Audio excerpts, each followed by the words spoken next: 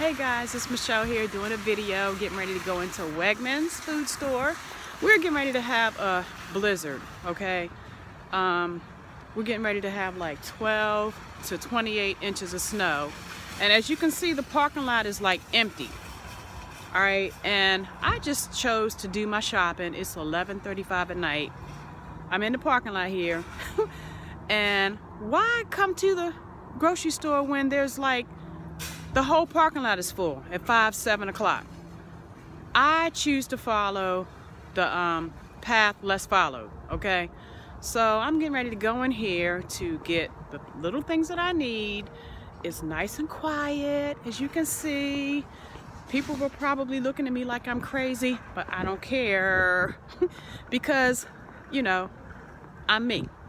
So anyway, I'm going in here with my list and just wanted to do this quick video at my Wegmans to pick up my few things in this nice, peaceful, quiet um, environment.